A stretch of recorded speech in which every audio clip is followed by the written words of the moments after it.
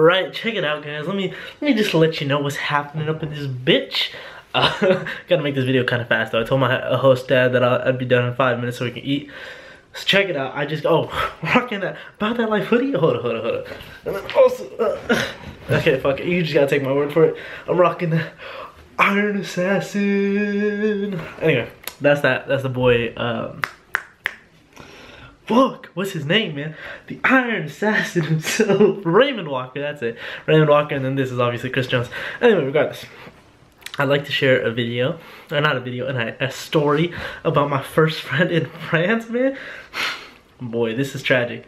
It's actually a sad story. so, um, so the first day, or like the first week in France, I joined a gym, of course, and the man who helped me was someone who like kind of spoke English. He, he spoke that franglais, you know, on peu de franglais, a little French, a little anglais, a little English. Anyways, so he, he helped me out. He helped me like make my gym membership and all that. And apparently today he told me that this man is leaving for Australia and then after South America.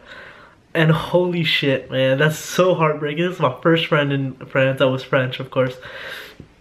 And it was just nuts, uh, except my house family, of course, I don't count that and man, it just got me motivated. I needed to document this shit so I never forget this shit. This man's name was Nico, and you know what? He's just one of those guys that like he was nice to me.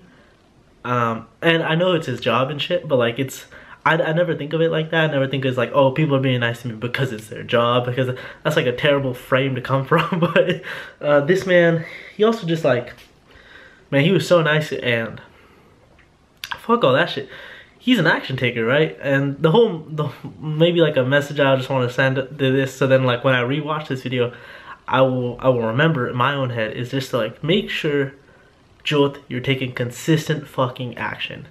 This man said he's never coming back to France. He said he's going to Australia, and then after he's going to South America, and that's it. That's it. He said he's never coming back. He knows very little Spanish, he said, and he's going to go live in South America. He said he's gonna find an apartment somehow, live in Colombia. He's gonna try. Dude, that's fucking lit. That that's an under exaggeration. I hate that using that in like a serious context, but that is insane. Good for him, man. Fuck yeah. Make your own decisions. You are in control of your fucking life. You make the decisions now that will lead to the differences later on a lighter note, I do have some videos coming out, like uh, my trip to Carcassonne, whew, Castle City in France, um, my trip to Geneva, my trip to the, uh, the Alps, uh, snowboarding. I ate a lot of shit. Holy shit, I hit so many, dude. God damn, that is that is a painful experience to recount. But yeah, man, that's it. Also, something that really like this touches me, man. Like, just remember this. Okay, so Nikos, what like we were talking about it right? We were talking in french like oh man you're leaving. Man that sucks. Like you're the first person i met. Like it's so cool. Because he knows that too right? And he, he gave me like a free a free protein shake. It's only like three euros. Not a big deal right? But like that's such a big deal to to say that he would do that for me. I know like we're friends and shit but like dude that's awesome. That that man like he i know it's just like a, a small act. I, maybe some maybe i'm over exaggerating this shit but I, I just feel like he's someone who gives off good vibes, man. Just stick stick to your guns, Jot. Stick to your guns, right? Make sure you're sticking around influential people that will change your life for the positive, never the negative.